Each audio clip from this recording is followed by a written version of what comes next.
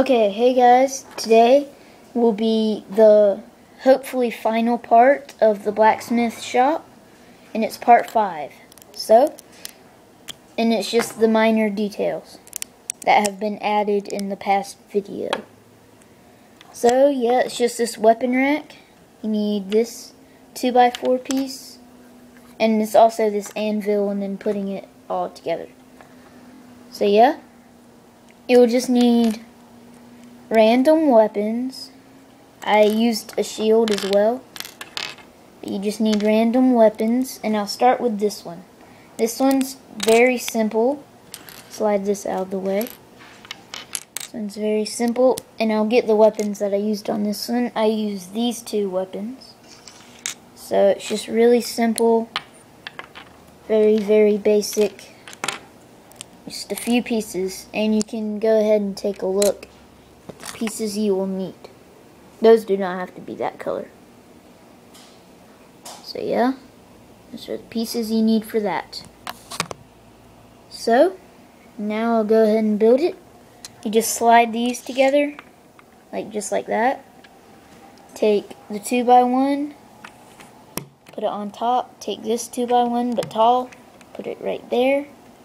Take this piece, this kind of weird angle piece, put it right there and take this piece and this piece and just stick them right there and then put just weapons just on there.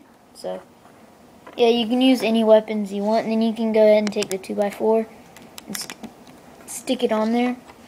Now for the shorter of the two if you're gonna use a shield um, then you make this. But if you're not going to use the shield, just two more weapons, then just use another one of these. So, yeah. Now go ahead and pull out the pieces you need for this.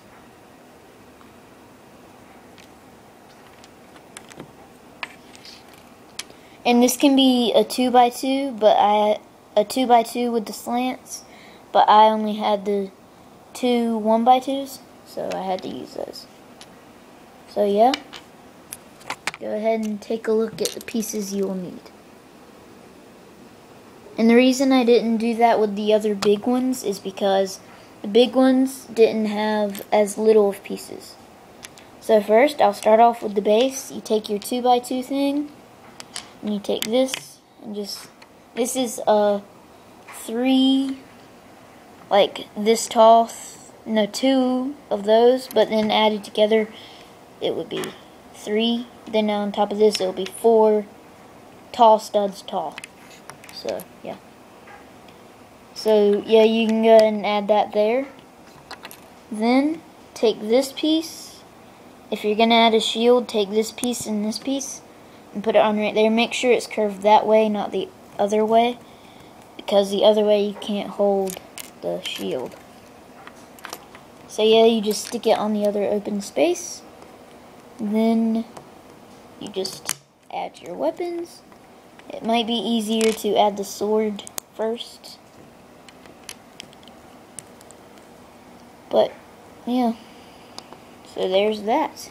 Then you put it on the other open space. So go on. There we go. And there's your little weapons, weapons rack. So now the anvil. And it's best to have these all in black. So I'll take off the pieces for this. This. This. Let me get this piece off.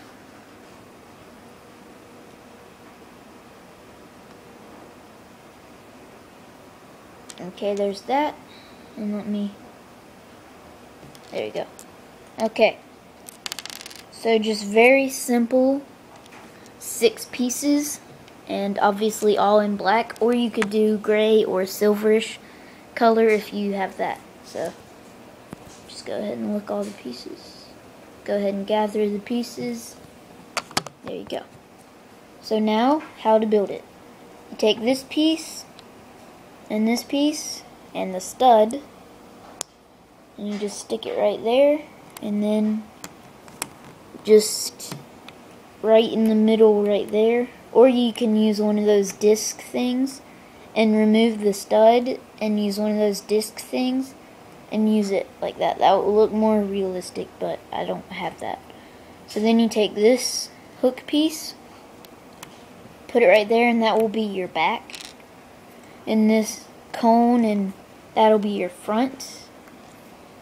Then you add this, and put it right there, and there you go. There's your anvil, and you can hook a sword there, like he's working on it.